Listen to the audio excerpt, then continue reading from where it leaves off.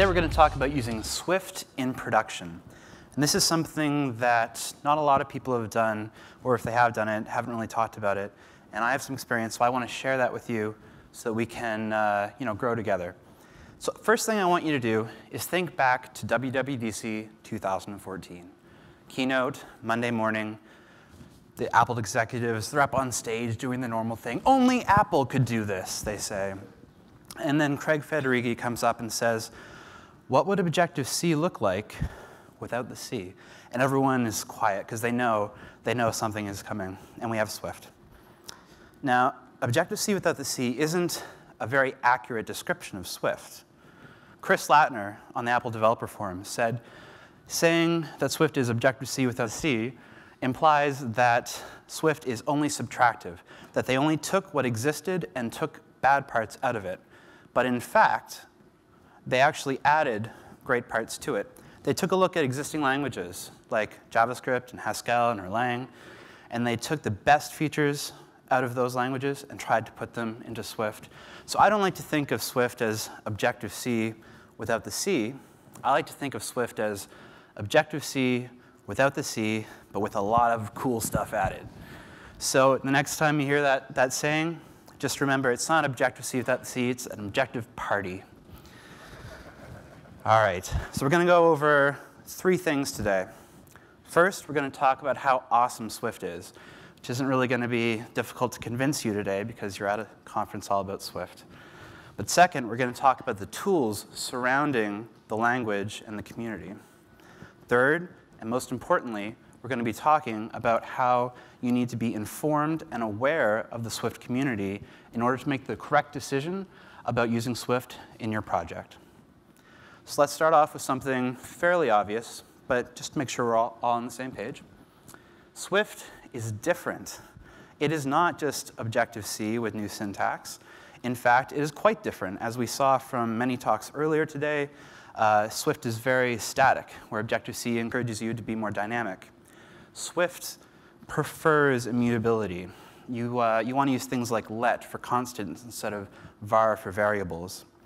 Swift encourages the functional programming paradigms and problem-solving techniques that Kyle talked about earlier. Swift is a lot safer than Objective-C, and that's really important. Uh, you know, if a user sees your application, they're using it, and it crashes, you're going to get a one-star review. Now, if you catch the code that does that crash at compile time, that is fewer bad reviews for you. And that is a better App Store rating, more sales, more money, everything. Uh, and, and finally, that's really important to me is uh, Swift has playgrounds and encourages experimentation, learning new things. It used to be that in order to learn how to write uh, Objective-C, you had to create a new Xcode project, and it had an app delegate, it had a storyboard, and it had a view controller subclass, and it had an asset catalog. Now, they open up a file, they type some code, they see the results. Fantastic. To illustrate the difference between Objective-C and Swift, I want you to take a look at this code example. This is the kind of code that you would find throughout UIKit. Things like uh, UI table view delegates have a lot of these, where you want to allow optional behavior in objects that conform to this protocol. Things that aren't necessary, but uh, you know, things that could be nice to have, like reordering table view cells. Not everyone wants to do it. This code is completely valid in Objective-C, but if you try and write a pure Swift equivalent, you'll find that the compiler produces an error on that line. That's because optional functions are not accessible in Swift protocols. Instead, you have to add, yeah, this is, this is what happens when you see a compiler error. Instead, you have to add at Object-C to the beginning of it. I know what you're thinking. You know, that, that, that works. That compiles at least, right? But actually, it's not a very good idea. When you do this, you make babies cry. when you put at Object-C in front of a protocol declaration, you're telling the compiler that this protocol must be compatible, or rather the object that conforms to this protocol can be compatible with Objective-C, which is nice, but it also limits you. You give up a lot of the compile time safety, as well as some of the Swift features. For example, Swift structs and enums cannot conform to an Objective-C protocol. So don't just do that. Look for another way to solve your problem. Swift is better than Objective-C. This is my opinion. I think it's probably your opinion too. Uh, you know, it, it's just there's so many reasons. Uh, let's look at uh, let's take a look at some code examples. Uh, who here has written code like this? Anybody? Uh, cellForRowAtIndexPath. You've got nested if statements, and if section is this, if row is that, blah blah blah. It's really terrible code, and it makes me want to scream when I write it, and scream harder when I read it. Uh, so instead, Swift has this really cool thing called uh, pattern matching in, in switch statements. It's a switch statement, much like one in Objective-C, but it's not switching on the index path directly. Instead, we're creating a tuple made out of the index paths section and row, and then we're matching against it beneath in the case statements.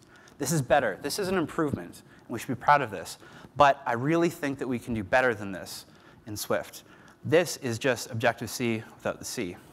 This is Objective Party. Here, in the first example up top, we're saying for any section 0, bind the row number to be a new variable called row in, and then you can use row when you're configuring your cell. Or you can bind a section to be the, the uh, section variable, and then provide a where clause and say, this case statement executes where the section is even or odd or whatever. For example, you can even call a function to make sure that this is the kind of row that you want to actually configure. This is some pretty powerful stuff. If anyone's used Haskell or anything, oh, this is it. So uh, one other thing I want to point out, and this is the kind of code that I want to see more people using on GitHub, is self-evaluating lazy closures. Uh, when you're writing view did load and then you need to add a button to your view hierarchy, usually you need to create a new local variable, configure it, assign it to a weak property, and then add it to the, to the actual view hierarchy. That pollutes your scope with an extra variable name that you don't need, and it kind of makes your method really long. And, and we want to strive for short, concise, expressive code. In this way, we say this button variable is lazy so that it's only assigned when it's accessed for the first time. And it is equal to the result of a closure that is immediately evaluated. So this is great and something you can't really do in Objective-C. Good for you. There's lots of other great features about Swift. I don't really have time to go into all of them, but uh, we've seen some other great speakers talk about some of the great features of Swift in this conference. So let's move on. Let's talk about the tools surrounding Swift. These are the things that you need to use in order to write Swift code. And the fact of the matter is that they're not ready for production yet. If you look at the Apple tools like Xcode and Playgrounds and SourceKit, these are all unstable. And they're not just unstable because there was a beta period and they were unstable during the beta, they're still unstable. There are frustrations and delays that are going to be caused using them. You are going to run into problems that you don't anticipate, and it's just going to make you want to pull out your hair, and you know, we don't want that to happen. I want to talk a little bit about a project that we worked on at Artsy called Eidolon. This was an enterprise application that we needed to build from scratch starting in late August. We had the choice to use Swift, and we decided to. We wanted to learn something new, and we wanted to share what we learned with the rest of the community.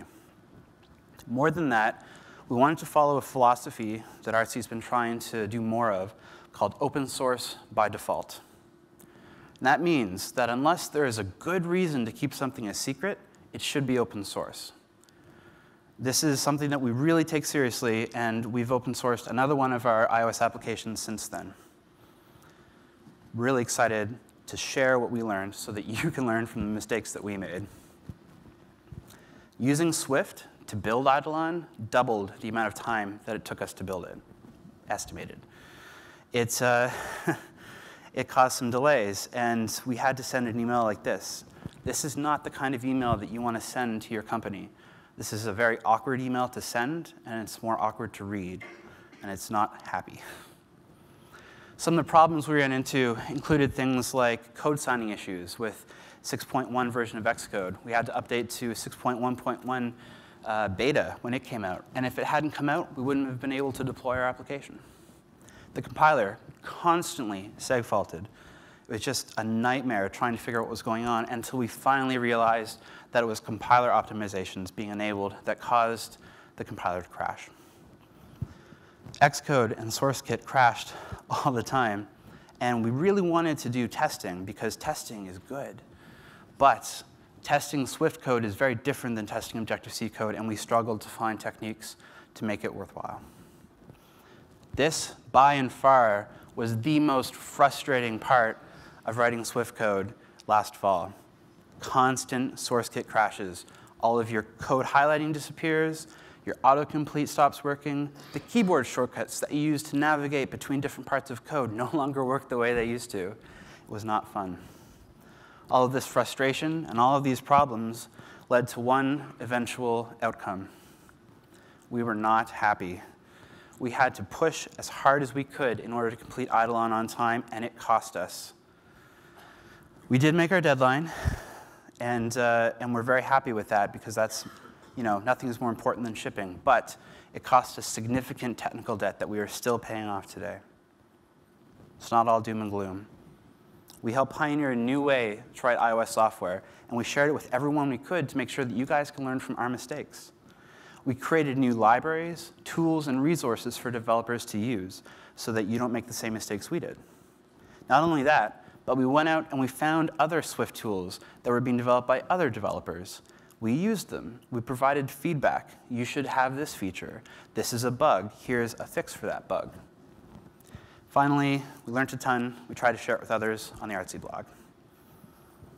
Someday, very soon, the Apple tools are going to be ready for prime time, but it's not today.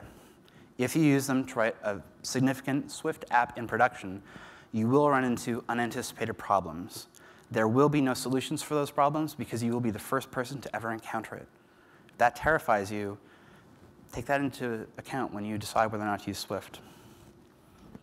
There are also third-party tools that we want to use. CocoaPods, 0.36, thanks to the heroic efforts of Marius, now supports frameworks in Swift.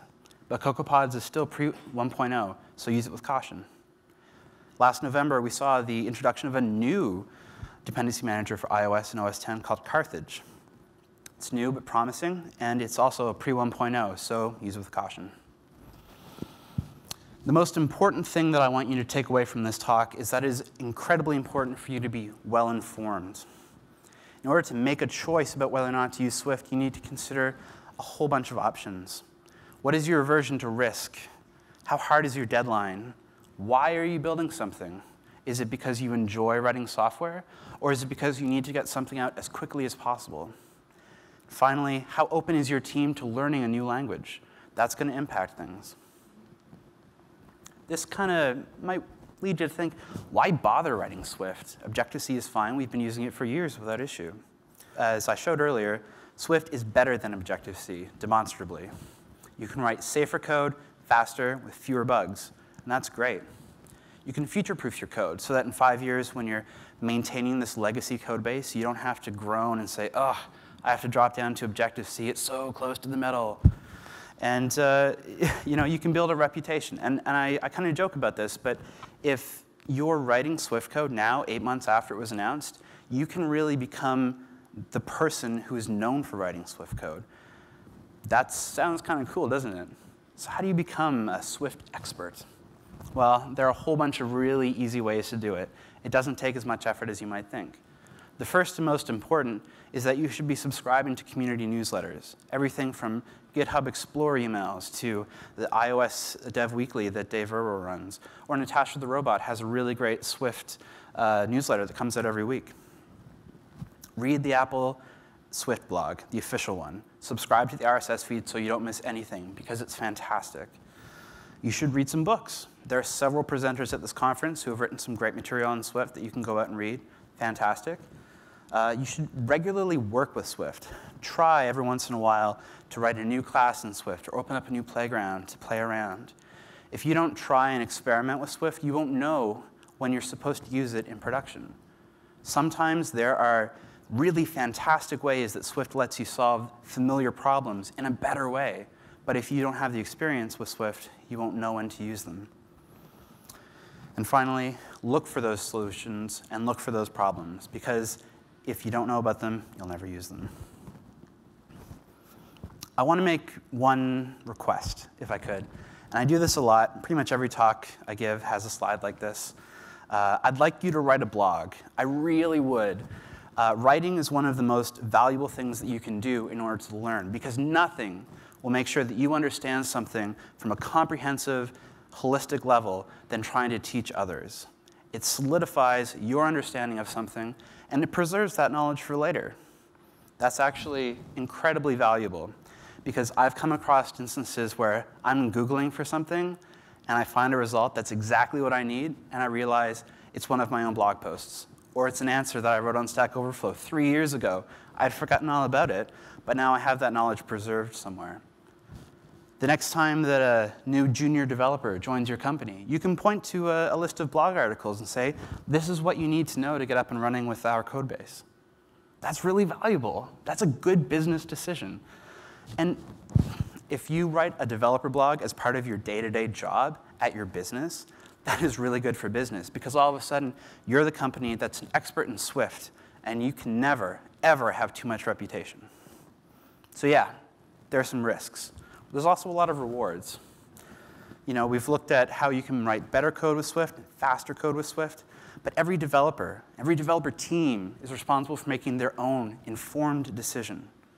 You need to know Swift to know whether or not to use Swift. So be aware. And most importantly, don't be afraid to revisit your decision. If you start a project in Swift and you are struggling to make it work, then start over again. Throw it away this crab with an injured arm tears it off to grow a new one later on because he knows that that arm is just not for him. To recap, yes, Swift is awesome, but the tools are immature, so it's up to you to be well informed. You need to know Swift in order to be informed. So, in conclusion, make an informed choice. In order to make that choice, you have to know Swift, so start now. Thank you.